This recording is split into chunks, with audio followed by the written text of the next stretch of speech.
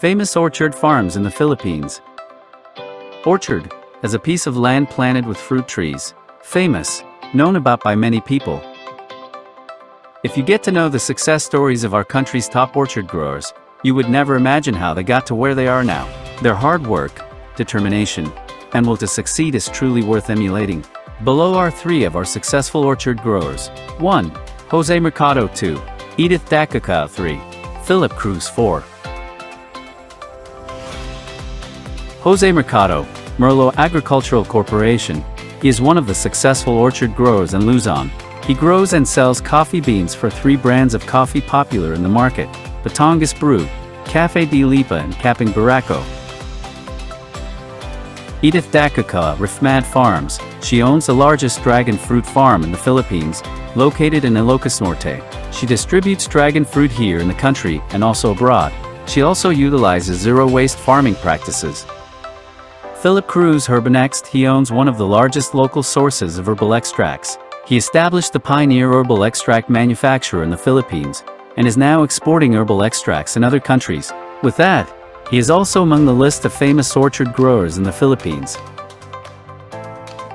Parasui, Live Green International, he produces organic vegetables, and is now distributing fresh organic products across 18 outlets of famous malls and establishments in the country.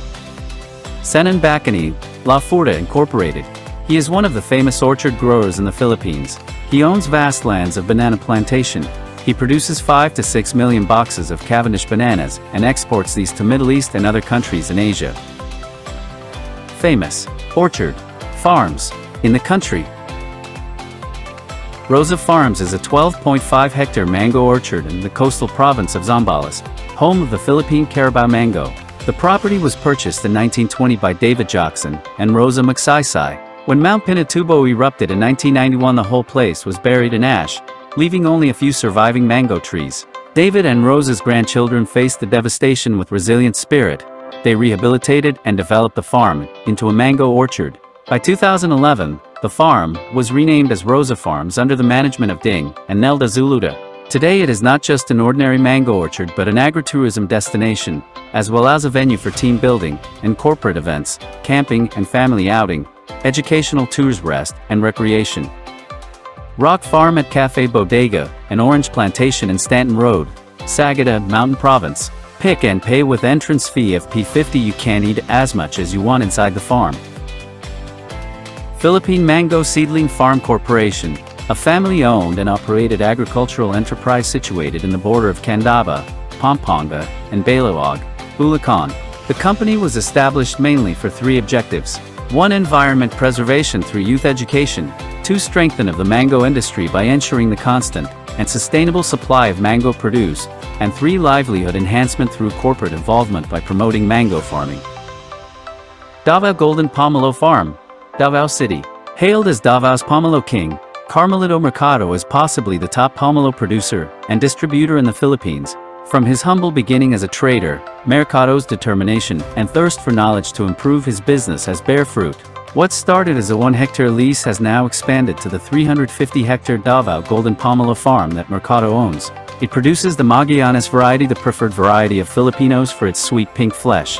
The oldest trees in the farm are 17 years old, and can bore as much as 600 kilograms per plant.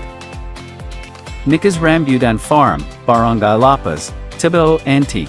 Nicas Farm is the biggest green rambutan farm located in Barangay Lapas, Tibiao Antique. The farm was named after the youngest daughter of the owner. Aside from the green and red rambutan, you'll also find bananas, durian lanzones, mangosteen, pomelo and other fruits. The rambutan tree belongs to a group of fruit-bearing tropical trees like longan and lychee. The name rambutan came from an Indonesian name ramba which means hair. Adobelance Farm is in Barangay San Juan, San Pablo City, Laguna. It started in 1987 with an initial capital of PHP 700.00. With his hard work and exceptional diligence, Mr. Addo was able to grow his farm from a 200 square meter lot to 2.3 hectares of land and continue to expand years hence. To date the farm covers more than 15 hectares, which are planted with 2,000 plus trees each of rambutan, lanzones, durian, and papaya. The farm is also lined up with 800 aromatic coconuts.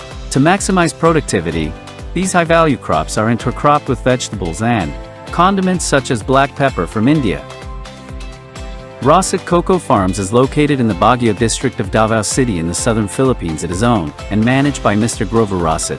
Before, he was working full-time as a postman earning a moderate wage as a government employee of the Philippines Postal Corporation.